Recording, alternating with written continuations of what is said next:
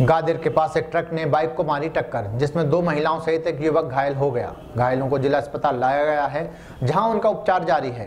Police ने FIR दर्ज कर जाँच शुरू कर दी है।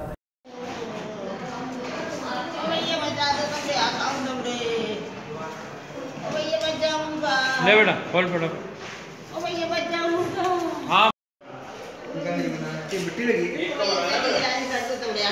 भाई ये वाला पैर भाई वाला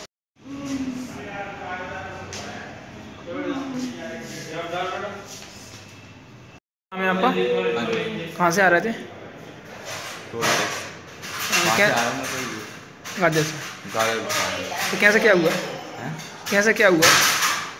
जी ऐसा हुआ हमारी गाड़ी साइड में चल रही थी हाँ। हमारी गाड़ी साइड में चल रही थी तोड़ दिए। तो कितने लोग थे आप?